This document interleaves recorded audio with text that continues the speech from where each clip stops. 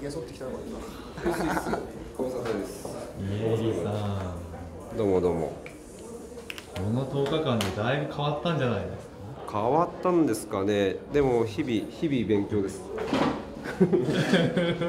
日々勉強です。はい。だいぶでもこの間の渋谷も僕行けなくて残念だったいやー来てほしかったなすごかったね。そうですね。改めてやっぱステージから見える風景とあの後でスタッフが撮ってくれた写真で見る風景は全然違くてうん。こんなに集まってたんだみたいな。えステージで見る風景っていうのはどんなステージで見る風景はまああの割とその目線的にそんな高くないステージだったのであのなんていうんですかね。割とこうみんなと同じ視線というかだからそんなにすごい集まってる感じはしなかった。けどあそのちょっと高いところから後ろの方からこう撮った写真はもう本当にぐわーっとなっていてちょっと終わった後にあの写真見て改めてと鳥肌が立ったというかそれまで街頭演説をや一切やってこなかったからああやってよかったなっていうのが率直なところですかね。やってよかったなっていうのは？うーんやっぱそのネットで生まれたこのね盛り上がりをリアルに落としていかなきゃいけないというか、まあ、僕にとってはリアルもネットもそんなにこうすごいシームレスでつながってるんだけどやっぱりどうしてもネットの中だけでやっていくとこうクラスター化しちゃうというかあの一部のその盛り上がりになってしまうのでそれを今度ネット使わない人とか、まあ、ネットそうですね、ネットのことよく分かってない人たちとかそういった人たちにもこうバッて波及させるにはやっぱりリアルな外に出て動くってことが必要だなっていうのを感じていたところだったので、まあ、そのきっかけとしてああいうイベントをやれたのはすごく良かったなと。あとやっぱあんまり僕トークが上手くないのでできるかなっていう不安があったんですけど、まあ、皆さんのおかげでなんとかやることができてよかったなって。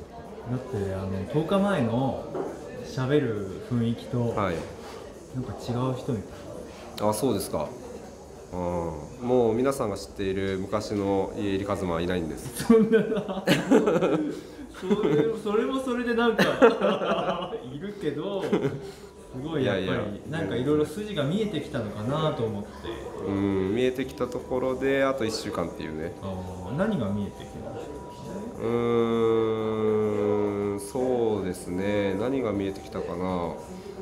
うんまあぶっちゃけ政治とかよく分かんない状況で出馬してでも本当いろんな方々とお話しさせていただく機会が増えてあとはまあみんなの声ですよね。どんどん集まってくるみんなの声を見てるとあこれはこういうことだったんだとか今更かよみたいなところですけどそういったところがすごい勉強になっているというか。た具体的にはねその再確認したところ具体的にはどんな悩みとかねどんな問題そうですこれねは政策にもつながってくると思いますがまずその前段としてねぜひお伺いしたい。はい、そうですね、僕らが制作で一応あの落とし込んでる居場所あの言っている居場所っていう話があるんですけどあの、まあ、居場所ってすごい抽象的すぎてよく分かんないとかってよく言われたりもするんだけど、まずね、それは間違ってなかったなと思っていてこの選挙っていうものを通じて僕らのこの選挙事務所に集まってくる子たちも一人一人本当に居場所を求めていてなんか話を聞いてみるとやっぱりなんか会社をクビになりましたとか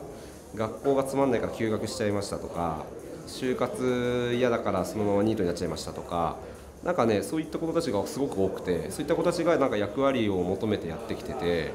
要するにみんな居場所を求めてるんですよね。でその居場所ってこういうリアルにみんなが集まれる場所のことでもあるしあの、まあ、承認をされる場所なんか社会との接点を作れる場所っていうのも居場所だと僕は思うんですよでそういう居場所が今東京にはすごく少ないと思っていてあのこうやってあぶれてしまった若い子たちが集まってきてるのを見るとあこういう居場所は本当に必要なんだなと。で、まあ、それはあの若い子だけの問題でもないと思うし例えば独居老人、ね、一人暮らしのお年寄りの問題もそうだと思うしなんかまあシングルマザーの問題とかもそうだと思うしだからそういう社会からあぶれてしまった人たちを受け皿にする居場所がもっと東京に増えていけばいろんな問題が解決すると思っていて例えばあのなんだ震災の問題を考えた時も、まあ、ハードの部分で防災っていうことは僕はまだ勉強できてないのであの弱い、まあ、みんなから意見をもらっているところなんですけど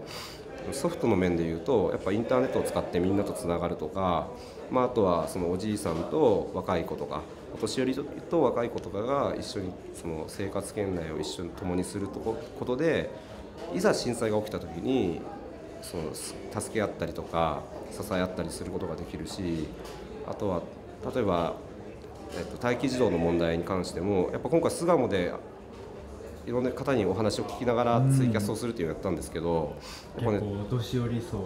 そうそうそうそうそうそうそうそう。やっぱねまたネットと違上がってくる声と全然違う声が上がってきてたのであそれはそれですごく面白かったんですけどやっぱね待機児童の話とかあとはやはり孤独を感じているお年寄りはすごく多くてそういった問題も解決するのかなっていうやっぱ自殺するお年寄りとか孤独死するお年寄りって多いじゃないですか今。でそういうのも若い子とつながっていくことで解決できる部分もあると思うし。どんな声が具体的にお年寄りから聞こえてきたんですか？うん。結構喋ったりしましたか？ん？結構喋ったり結構喋りましたよ。うん。なんかねまあ様々あったんであ,、まあ、あったんですけど数人はなんかこのままでいいよっていうこともおっしゃってましたけどやっぱりうーんまあそうだなというのがあったかな。やっぱあの老夫婦の方にお話を聞いた時は奥さんが認知症の、えー、ご夫婦がいてで旦那さんがいやあの家内は認知症ででやっぱ国はなんかそのやるやるって言うけどいざその本当に助けてほしい時に何もしてくれないと。だからそこの部分をもっと厚く手厚くしてほしいっていう話だったりとか。やっぱりあとはそうですねあの、まあ、自分には孫がいなくてすごく孤独、まあ、孫というか子供とも離れてるし孫もいないしすごく孤独を感じているっていうお年寄りもいましたしまあ年金をもっとくれっていう年寄りもいましたしまあ様々ですけど、はい、でもやっぱこうやって外に出てネットを使えない人たちの声を聞いていくってこともまた必要なことだなって思いましたね、うん、最初はすごい緊張したんですけどね、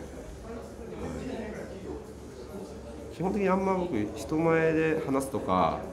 知らない人と接するとか苦手なので巣鴨の中を歩きながらお年寄りと話すってすごい 億劫だったんですけど最終的には楽しかったですね。なんで楽しかったんですか？うーん僕が思っている以上にみんな優しかったかな？うん。あとはねなんか僕の中で若者お年寄りはその若い者はもっとちゃんとしろみたいな感じで頭ごなしに怒られるもんかと思ったらいやもう若いんだからもう君がこれからの東京を作っていかなきゃいけないんだよってあの俺は入れるよ1票とかって言ってくれるおじいさんとかもいてすげえ励まされたっていうのがありましたね。ちゃんとしなきゃなって思いました。どういう形でねこれからそういう声を紡いでいってつないでいくかっていうのが、うん。家入さんの肩にねのしかかっていますけど、うん、候補としての、まあ、責任っていうか、うんうんうんうん、吸い上げたものを、はい、ただ吸い上げただけじゃないっていうそうですねちゃんと、うん、やるんだと思うんですけど、はい、どんなふうにやっていくのかそうですね、まあ、まずは一度すべての意見というか、まあ、ネットを通じて上がってくる意見に関してはもうすべて目を通してますしそれを政策に落とし込むっていうことはやってるんだけどやっぱりその巣鴨で聞いたような声は今回だけじゃなくてなんか明日とか明後日もやりたいなと思ってますし、まあ、もうちょっと集めていってそれをちゃんと政策に反映できるかどうかっていうところも考えて、あのそうですね落とし込んでいきたいなと。あとはまあ、この選挙あと1週間ですけどその選挙自体がまあどうなるかは置いといてこうやってせっかくみんなの声が集まったのでそれをなんかあ選挙終わったね楽しかったね終わりじゃなくてこうやってみんなの声集まった声をこうまとめたのものをさらにその次にどうつなげていくかっていうことはちょっと考えなきゃいけないな、まあ、もちろん今はまだ選挙その2月9日っていうところを見据えてしか動けないんですけどその先この動きっていうものをどう継続していくかとか、まあ、この選挙を通じて居場所を探している子たちとかつながったのでどんどんどんどんたくさんの子たちと。だからこのつながりとかこのムーブメントを選挙が終わった後もどう継続していくかより大きくしていくかってことはちょっと課題だなっていうか考えていかなきゃいけないなっていうふうに感じています。はい、この間マックは春日さんからこのところに電話がかかってきて、はい、主要メディアの取り上げ方の中に最近家入君が入っているじゃないかと。はい。なんで俺じゃないんだい。う電話がかかってきました。はい。なんだかこうメディアの取り上げ方みたいなのも少しずつ変化が？そうなんですかね。だといいんですけど相変わらずあんま出てないみたいです僕は。そうですはい取り上げていただいてるところにはありがたいなと思うんですけど、うん、あでもそうですね今日の巣鴨でもなんか今朝かな？今朝 NHK の NHK さんはちょいちょい撮っていただいてるのであの朝のニュースかなんかで見たよとかって言ってくれるおばちゃんもいて、はい、あの政策のね中身については、まあ、すでにまあ既存の候補者の皆さんは、まあ、選挙戦が始まる前に政策を用意して、はい、まあ、それぞれでその争点を設定してね、うんうんうん、選挙運動を始めてるじゃないですか。はい、でまあ、例えばその原発の話、うん、例えば防災の話、うん、例えばオリンピックの話、はい。一応まあ家入さんが戦っていく相手たちはそういうのをそれぞれ、ね、そうですね。はい。そういうそれぞれの政策に対しては今家入さんはどんなふうに自分の意見を主張していくのか、そうですね、まあ、原発でいうとその まあね、そもそも原発が争点になるのはどうなのっていう話もまああるとしてあのまあ、そうやってなんか一つのフレーズはその原発とか防災とか、まあ、オリンピックとかなんかそういったものでこう語れるような単純なもう世の中じゃないんじゃないかなって僕は思っていて例えば原発に一つにとってもその脱原発っていう言葉だけでその語ったりとかあの、まあ、脱原発って言ってるからこの人を選ぶとかそうじゃなくてじゃあ脱原発に僕ももちろんあの、ね、その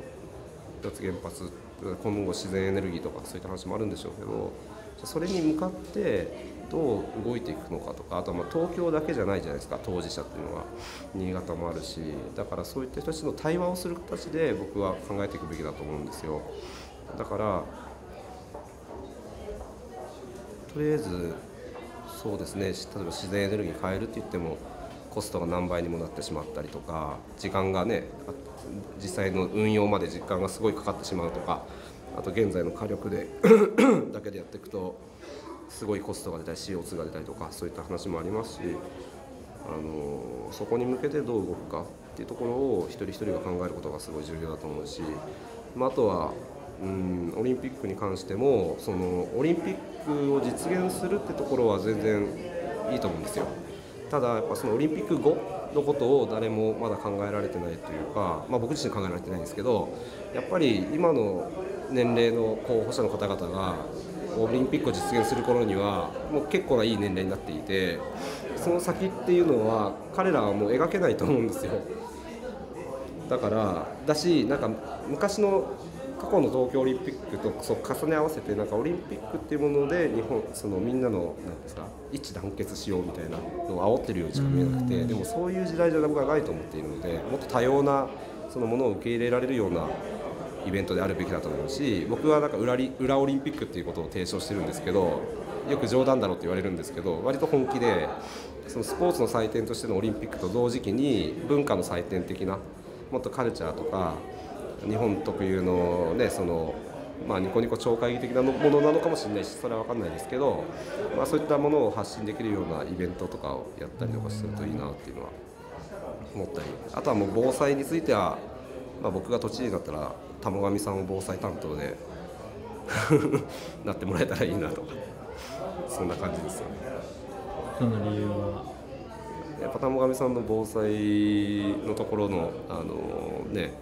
政策っていうのはすごくしっかりやられてると思うし僕はそうですね。はい。僕はできないことだらけだし正直あの分からないことだらけなので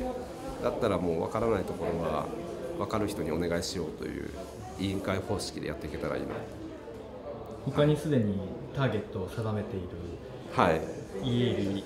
都知事都庁のあの都政のはい。右腕たちみたいなのがあるんですか、いやーもう今のブレーンはみんな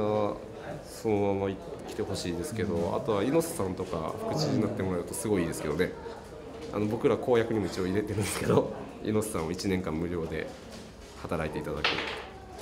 議会にそういう法案をねうん。提出してたんだはい。そうですね。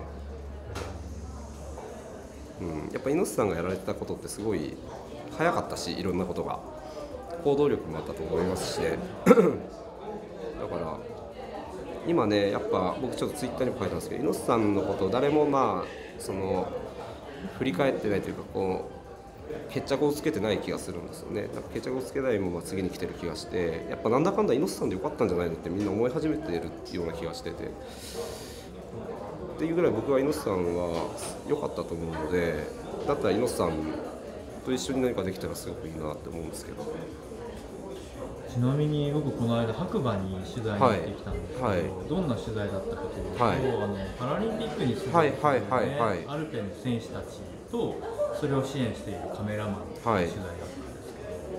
けど、結構東京オリンピックだけではなくて、うん。東京パラリンピックみたいなのっていうのを実を言うとどう成功させていくのかっていうのは、結構マイノリティうんうんうんうんとマジョリティの話とか、結構大事でね、うん。次のひょっとしたら東京のやるべきことはねそういう新たな価値の提示なんじゃないかなとそうですね。僕もそう思います。はい。LGBT の問題とかもそそううだし、う。んうんうん。外国人と日本人とか男女とか、はい。い、ろんな格差とか。でやっぱりあのパラリンピックは一つこうメッセージをはい。出せるね、家入さんとかそういう部分にもね少しこう目が向いてる部分はあるんじゃないかなとは思ったんですけど、この辺りどうですか？ねそうですねそこも最終的には居場所の話につながってしまうんですけどやっぱり先ほどおっしゃったようなその LGBT の話とか、まあ、いろんなその生きづらさを抱えて生きてる人たちってたくさんいるんですよね。でやっぱそれはなぜ生きづら生きず生き苦しいかっていうとその認められていないというかそのやっぱ疎外感を感じてしまっている。で僕がよく話す話であのやっぱこんだけ豊かなのに自殺の数が多い国って日本だけらしいんですよね。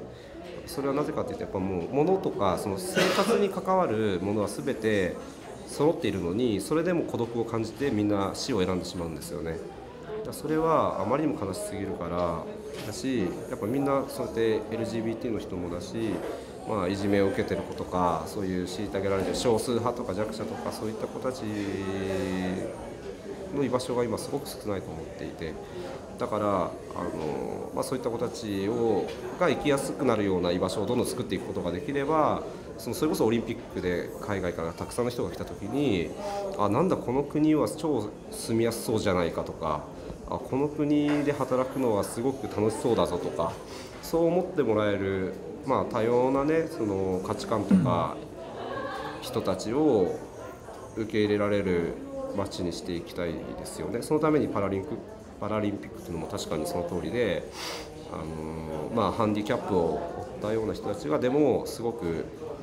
あの生き生きとスポーツができたりとか、まあ、例えばお年寄りでもできるスポーツを一緒にやったりとかだからパラリンピックの解釈自体ももっと拡大してなんかもっとその身体のその障害とか、えーそういったもの以外にもそのお年寄りでで足腰弱ってるけど楽しそうにできるスポーツふなんか風船バレーとかの話を聞いたんですけどそういったものがあったりとかするらしいんですけどだそういういろんな人たちが楽しくやれるスポーツとかそういうのも合わせてやれるといいですよね。はいありがとうございます